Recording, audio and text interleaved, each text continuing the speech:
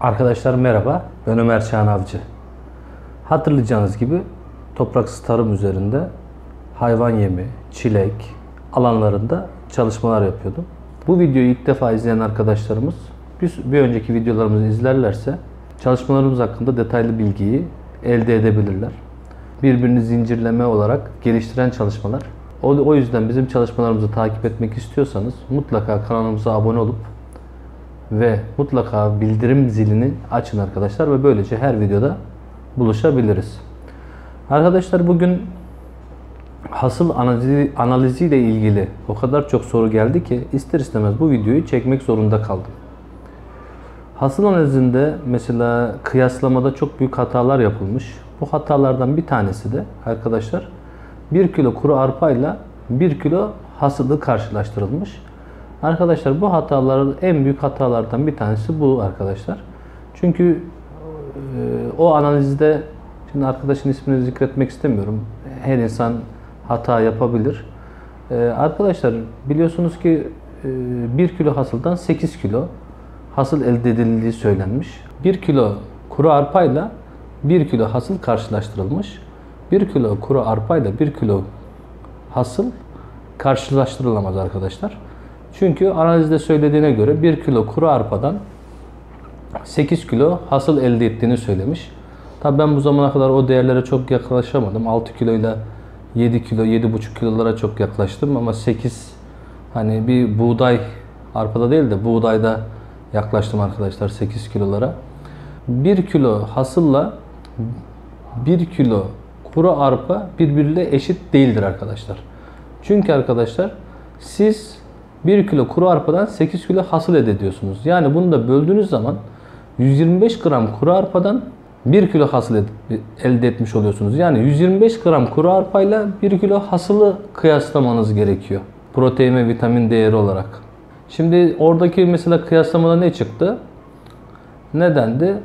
Arkadaşlar 1 kilo hasılda 18 gram protein var. E o zaman 125 gram kuru arpada kaç gram protein var? O zaman da 12,5 gram protein var. Yani o zaman şöyle bir şey diyoruz. 125 gram kuru arpayı biz 1 kilo hasıla çevirdiğimiz zaman 18 gram protein elde etmiş olduğunu söylüyoruz arkadaşlar. Ve bu da ne anlama geliyor? Siz zaten protein anlamında bunu arttırdığınız anlama geliyor. E diyeceksiniz ki Ömer hocam madem bu kadar faydalı da niye yapmıyorlar? Arkadaşlar madem biz bunu niye yapın diyoruz? Meranız yoksa yapın diyoruz. Bakın ona bakarsanız bunun gereksiz olduğunu düşünenlere şöyle söyleyeyim. Merada hayvanları niye yayıyorsunuz? E çünkü niye? Ucuz yem, bedava yem. E biz de mesela işte ister istemez ucuz yem yapıyoruz bununla.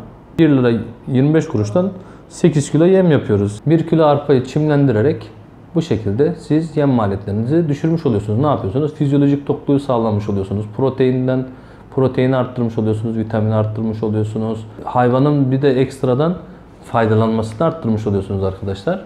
Ee, nedir mesela? Sallıyorum kuru arpada 1 e, kilo arpada %60 ile %85 arasında faydalanma varken 1 kilo hasılda %98 faydalanma var.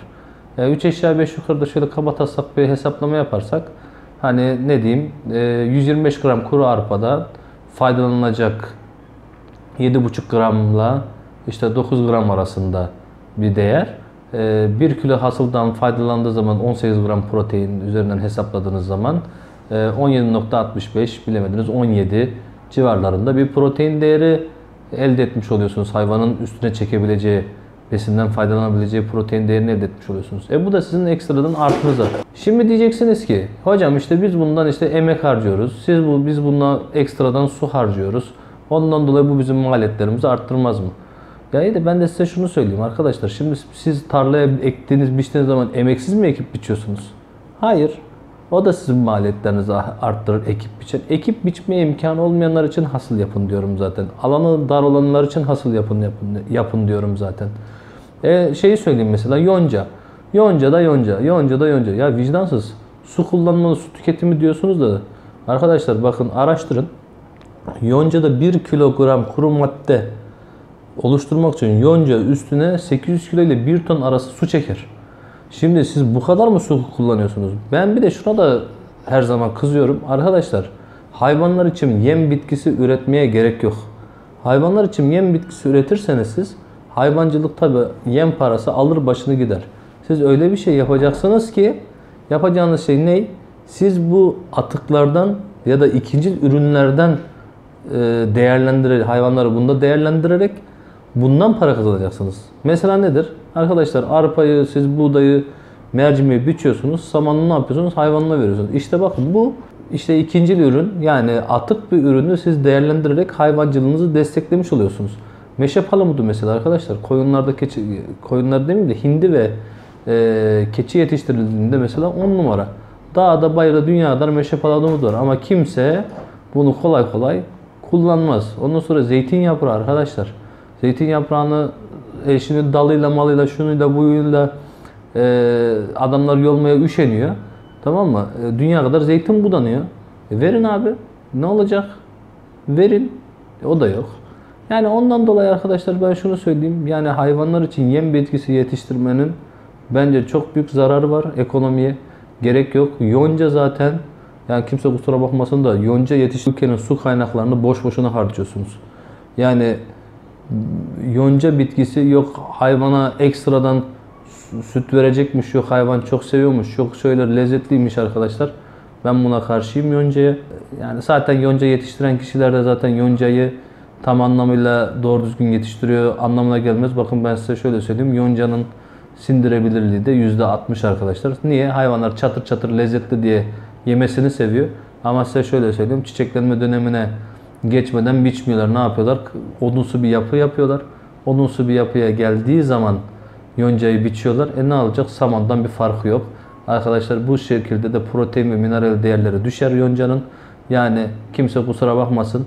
Yani yonca alıyoruz diye e, o fiyatlarda, o kalitelerde daha fazla e, daha kaliteli ürünler alabilirler arkadaşlar. Ha, bu arada birçok kişi de e, küspenin küspe ne demek diye çok soruyorlar.